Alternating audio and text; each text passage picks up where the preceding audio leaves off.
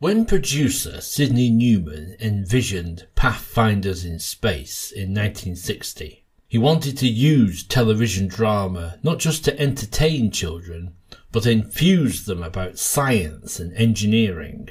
Fifteen years later, NBC executive George Heinemann had similar lofty intentions when he approached Gerry Anderson to create a 45 minute TV film to illustrate Albert Einstein's theory of relativity. Speaking to Starlog magazine in 1979, Heinemann said, When the teacher wrote E equals mc squared on the board, I wanted the young viewer to recall that program and say, Yeah, I saw a program about that. I want to learn more about it instead of it's just one more thing I have to memorize and what good is it going to do me? But Anderson and writer Johnny Byrne hoped for more. Could they break North America with an ongoing sci-fi series? Could they take the audience with them into infinity?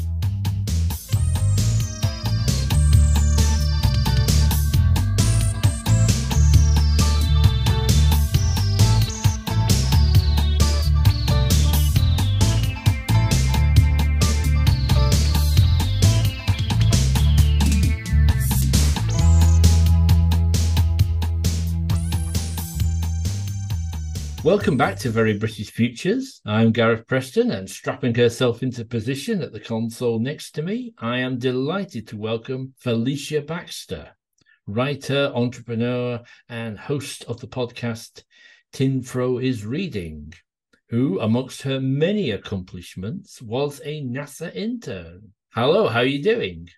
I'm doing great, um, Gareth. Um, it's so funny that uh, you mentioned me being a NASA intern and how that actually plays into my fascination, has played into, and it continues to play into my fascination with sci fi. Not so much conflict driven, but uh, more of the Trekkie, Star Wars, wannabe Jedi, citizen, armchair scientist kind of thing in, into my adult life. That is what basically spawned my true interest.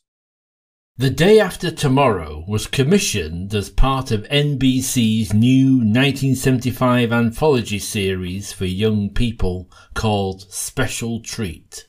It was a mixture of documentaries and one off dramas with an educational remit.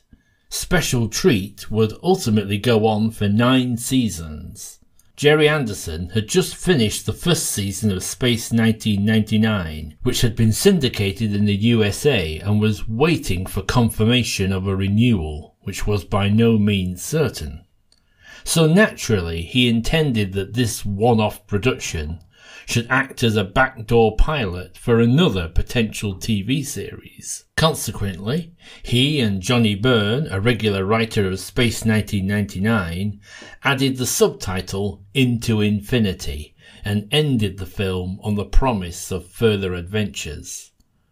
There were many other shared elements with Space 1999, the design of the Altares was inspired by the design Bible of that series, whilst its interior was largely recycled from the Ultraprobe set built for the episode Dragon's Domain.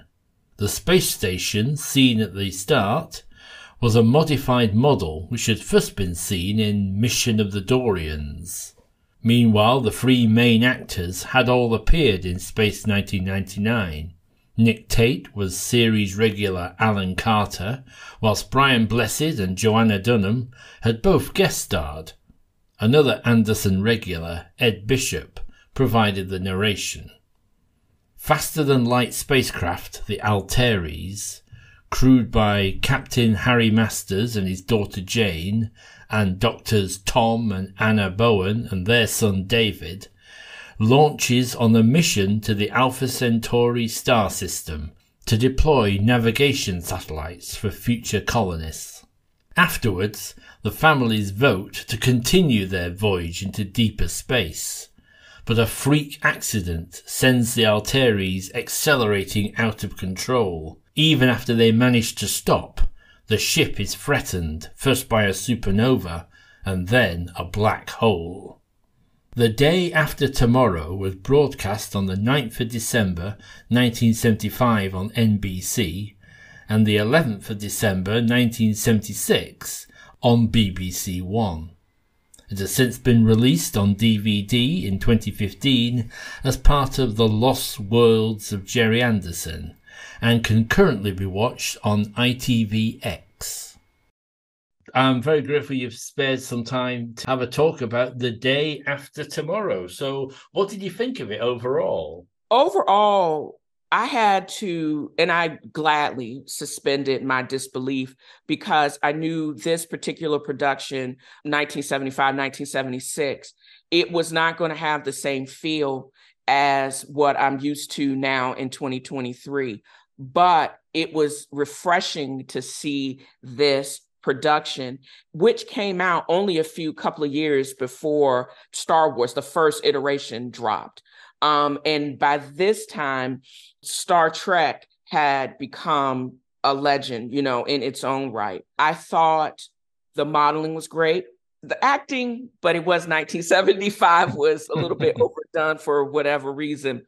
But the idea of this two groups of scientists um, not only deploying satellites, now we're going into deeper space with no 3D printers and true space shields and the communications, not knowing if they were going to come back was so dope. Yeah, I agree. I think it's a it's a good, fun, well self-contained series. I think, uh, and I would have been interested to see where it could have gone as a series. I wonder if it could have kept the scientific rigor going if it had under the pressure of producing a whole series. I, I suspect that more sort of Flash Gordony fantasy elements might have crept in. No, I think it would have taken on the advances like Star Trek did. A lot of the things that actually started out in the sci-fi realm became um, somewhat of what fueled NASA and the commercialization of space.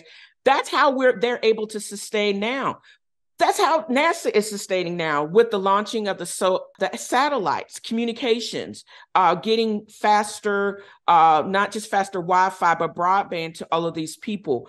That is how the Elon Musk have and the reuse and the blue origins those things to use for the space race or for the space is what they were doing in 1975 and they could have utilized if they had the correct consultants if they would have utilized the money to actually get those. And as i said this is, was a time the golden age of space travel and and um, exploration in the real world. They could have had the right consultants and they could have built upon those concepts. They talked about supernovas and going into deep space. They could have waited for Hubble to start sending back the images and getting those artist renditions and getting there these modelers that did this and actually making um more realistic looking universe based on what was coming back and was in the the um the public domain it would have been great if they had just if we, they could have just been given more time and resources yeah i i, I agree with you i think uh, the writer johnny byrne did he did a lot of good research on that you know with really as did. much as much as he knew as much as we knew about space back in 1975. So, how successful do you think it works as an educational tool, as a way of inspiring young people about space travel and science? It was just enough to be, again, for the curious, nerdy kid, it was just enough for them to go deeper and could also serve as like a starting point in most earth science or other uh, educational programs because it was it was detailed just enough and it was scientifically correct enough to be interesting and to keep wanting you to go further and to expand upon those concepts. Yes i mean well, and it would have been i don't think they would have had enough thrust you know, in realistically, if you do what uh, the gravitational forces of a black hole is, they couldn't have, they didn't have enough thrust to get out of the damn black hole. That was, I mean, they they were reaching on that. Um, but and also to survive the uh, radiation from a supernova and just the heat. Um, and again, gravitational pull those are the types of things that you would have to research to make sh- to know that that spacecraft wouldn't have been able to survive any of that. So just saying, just saying.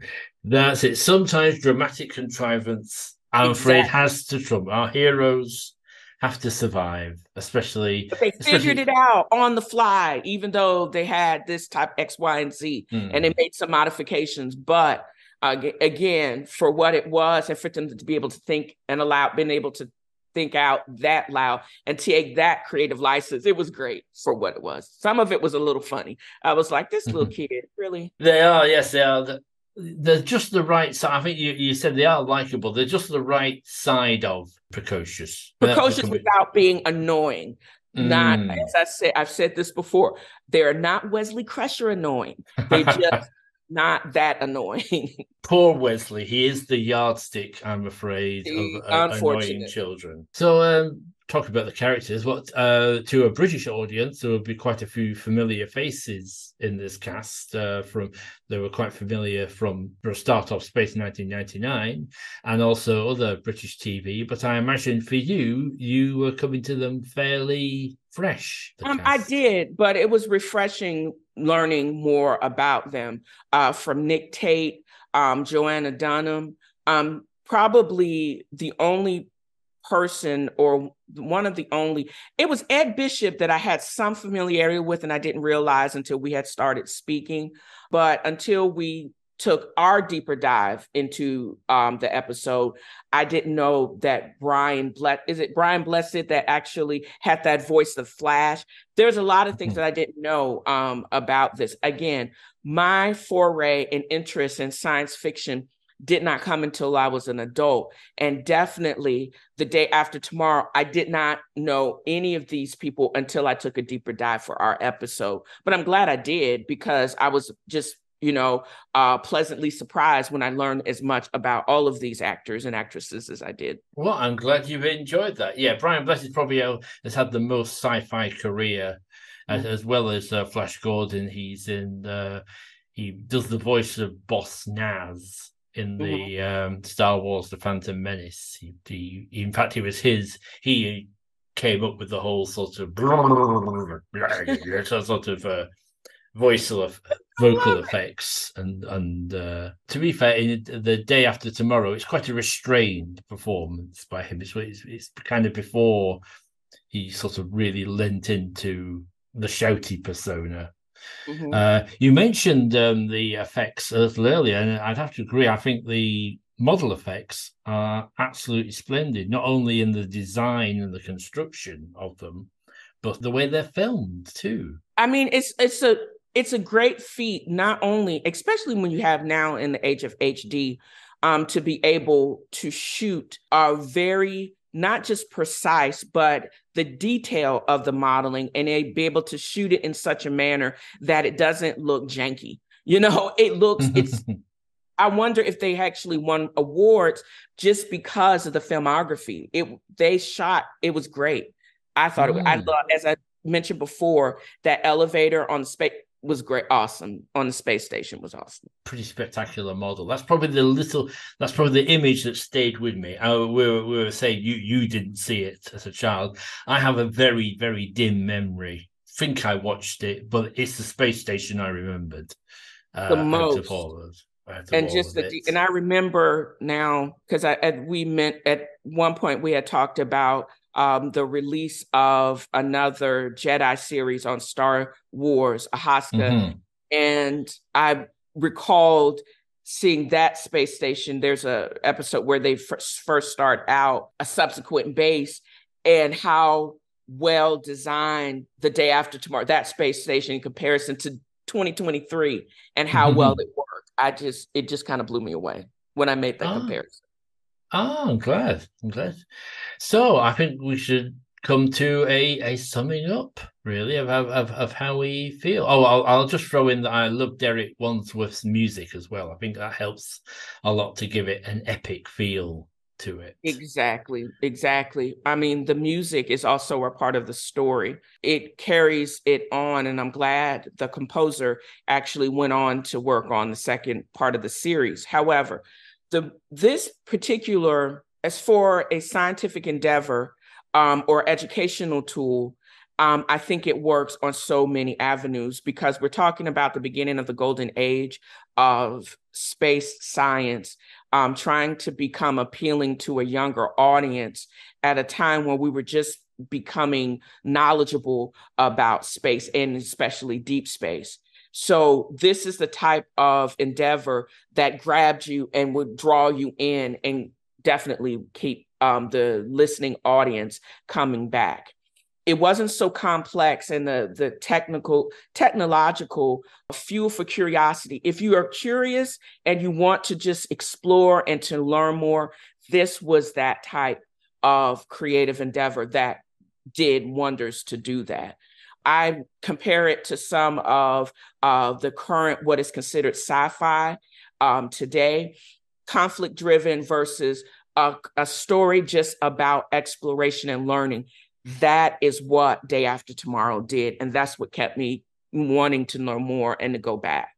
Um, I don't need the drama, the other things, that's great, but I'm more interested in learning more about space. And as we were on the precipice, I guess, of Hubble and of Discovery, uh, the first uh, shuttle program starting in the early 80s, all of those things we could have experienced and it would have been great to be able to incorporate all of that into this particular and the modifications. Can you imagine if they could have really equipped it like the shuttle for deep space oh my god that would have been awesome. That would have been awesome wonderful stuff. I can only agree, and it's great that uh, after years of being some, something of a rarity, it's now quite easy to get hold of and to see, and I can fully recommend it. Uh, before we leave today, I'd love to hear. Uh, we've been talking a lot about deep space and the day after tomorrow, but I want to know what's going on in the busy world of Felicia Baxter. I am trying to just stay awake long enough to use my telescope to look into space, but it doesn't help if you don't stay up past eight and you don't get up until seven. Um, I'm also wrapping up this season of my podcast. Uh, Tenfro is reading as well as over 40. Um, I'm trying to pursue my other writing and literary pursuits and just getting back into travel and to being able to interact in my interpretation of what I'm seeing in the outside world. Um, and just having fun and doing the things that I really actually like to do is what I'm going to pursue and prepare for. Um, I'm looking forward to 2024. Um, but I'm going to 2023. I'm planning on doing a whole bunch more stuff just to be happy. So cool stuff. Well, thank you for making the time to appear on Very British Futures. Uh, and also, let's say thank you very much for you to listen for listening. Hope you've enjoyed it and we'll all meet again soon. Bye for now. Goodbye, y'all. Thank you for having me. Very British Futures is hosted by Gareth Preston and features special guest Felicia Baxter. Music by Chattery Art. You can hear more of his work at chatteryart.bandcamp.com. There are links about Felicia Baxter in the text accompanying this podcast. If you've enjoyed this episode, we'd love you to rate and review it on your podcast app. Follow us on Twitter at FuturesVery. There's more information on today's episode at our website westlakefilms.uk stroke very British futures. And if you'd like to email us, the address is very British futures podcast at gmail.com.